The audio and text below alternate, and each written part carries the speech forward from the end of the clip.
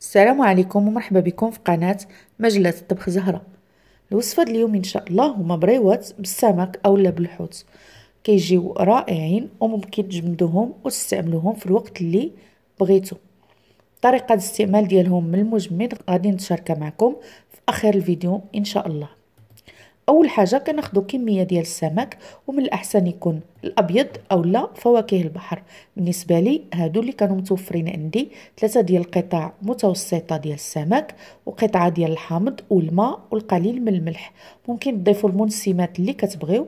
كنوضعهم فوق النار غير كيغليو وكنشوف بأن اللون السمك بدا كيتغير وكنزولو. كنخليه يبرد شي شوية وكنحاول نزول له الجلد ديالو والشوك كذلك. وكنرد بالي باش ما نخليش شي وحدة. كنخليه قطع متوسطة ماشي كبيرة بزاف وماشي صغيرة.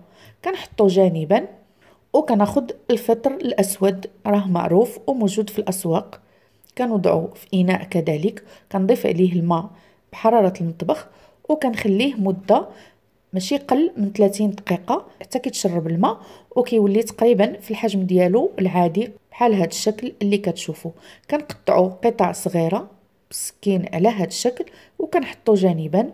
كنمشي نوجد الجزء الآخر من الوصفة واللي هو الخضر عندي القليل من الجزر مبشور رقيق وكذلك الفلفلة ألوان. هنا اختاريت الأصفر والأحمر من الأحسن ما تستعملوش الخضرة.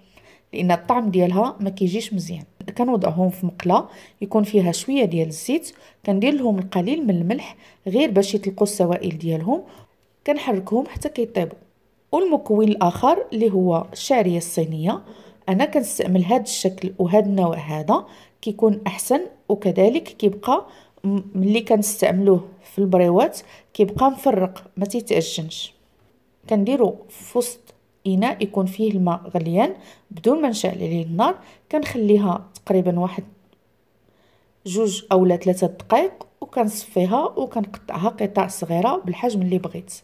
دابا المكونات كلها عندي كناخذ الشعريه الصينيه كنضيف عليها الخضر من بعد ما دبلو شوية وكذلك الفطر الأسود والسمك.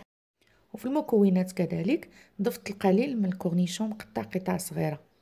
وكندير المنسمات واللي هي القليل من الملح قليل من الإبزار اللي هو الفلفل الأسود والهريسة. أنا استعملت الهريسة ممكن ما كتفضلوهاش ما ديروهاش.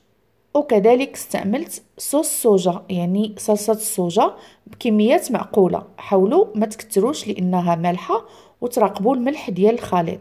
كنحرك شي شوية كنضيف شوية ديال المعدنوس واحد نصف حامضه مأسرة وصافي الحشوة ها هي واجدة. هذه الورقة البسطيلة. في العادة كتكون عندي في الثلاجة لأنني ممكن نحتاجها فجأة وما يكونش عندي الوقت اللي غادي نمشي نجيب الورقة البسطيلة الأخرى اللي كتوجد تحت الطلب.